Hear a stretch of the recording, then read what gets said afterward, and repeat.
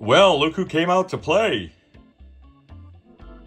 Dodge, thank you for um thank you for uh taking this thing back and uh doing what needed to be done to get her out. It's good. It's good. It's good. She's gonna need a little bit of love because we have some little friends in there that may want to come out to play. But we'll take care of that. It's not a big deal.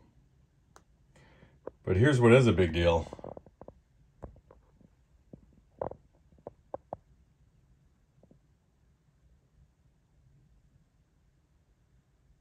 Good old Swanson.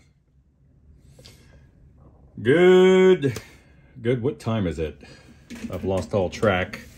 Well, good afternoon, uh, Dodge. I, I bid thee good afternoon, and uh, the rest of you goons out there, and the mutants.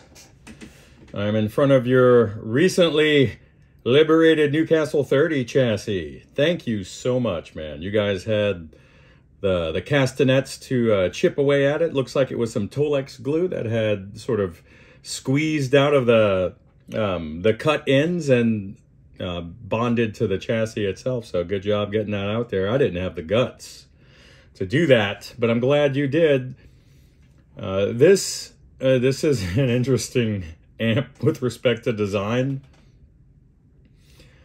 I I don't know what to say about it because it's so alien compared to what I'm used to looking at. There's a blend of there's a blend of pretty damn good PCB technology here, comedy, uh, which I showed in the intro, and uh, what what appears to be some standard residential uh, electrical bits in here.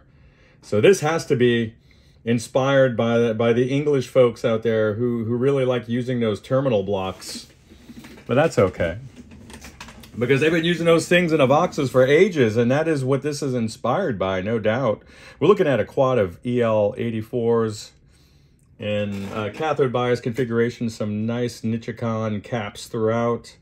And I do like uh, that particular brand. It looks like we have some Mallory type caps uh, floating around in there.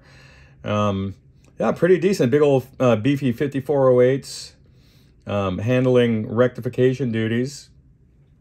And, um, well, a, a, much cleaner uh, chassis. There is some uh, oily residue throughout, even on, um, well, it, it really throughout, literally. I'm going to um, sort of degrease this thing just with some uh, isopropyl alcohol later. But I just have time for a quick turn on and let's see what's going on with this thing. This thing has power scaling, uh, one volume control and one tone control. The knobs are not, uh, at, at least the power scaling knob is not aligned to the indication marks there on uh, the front control panel, the faceplate as it were.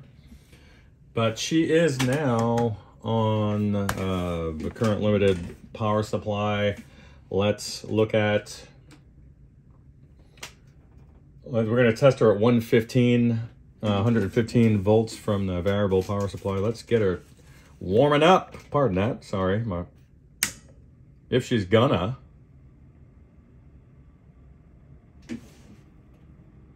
I could hear the fans kicking up. There's no pilot lamp as of right now.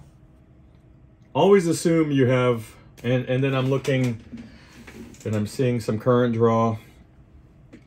Never assume that there's no power applied because you don't see a light. Don't assume that. I've done that.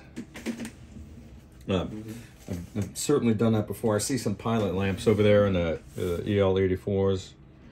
And uh, let's take her off of standby. There's a third uh, switch here, car, three Carlings here uh, in a row. Uh, we have a power standby and a power scaling bypass switch. Let's turn her on. And she sprang to life. She's a noisy lady. Sounds like we have some microphonic tubes.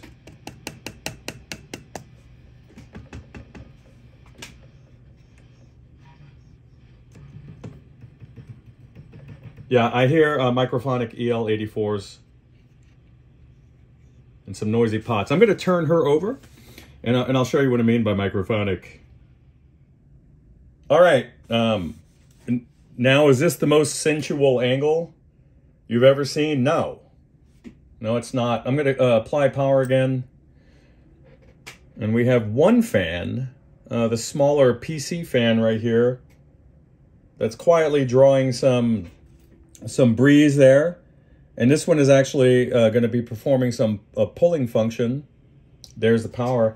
Now, uh, these are reissue Mullard tubes. These are EL84s or 6BQ5s, depending on uh, which side of the pond you're on. The one all the way to the right on the eastern side of this uh, chassis has its silk screening completely burned away. Now, the great thing about these tubes is there's a little tickle tops on, on top. This is um, the last part of the glass forming process where there's a bit of a, this is when they're evacuating all of the, the air from these little glass envelopes and whoop, that's where they seal them. Watch this when we get towards the end. Give it a little tickle. And there she is. And this guy is noisy. This guy's very noisy. We have some, you need a new quad of EL84s for certain. And this guy is very noisy. There's one of, look, the fan's trying to start, but it's actually captured on this. There we go. So let me see what's uh, cooking. I'm to have to leave the premises and then um, hopefully pick this up a little bit later on this evening. I hope this finds you guys well out there. Happy Friday. Uh, do all the fun stuff you can do on the weekends.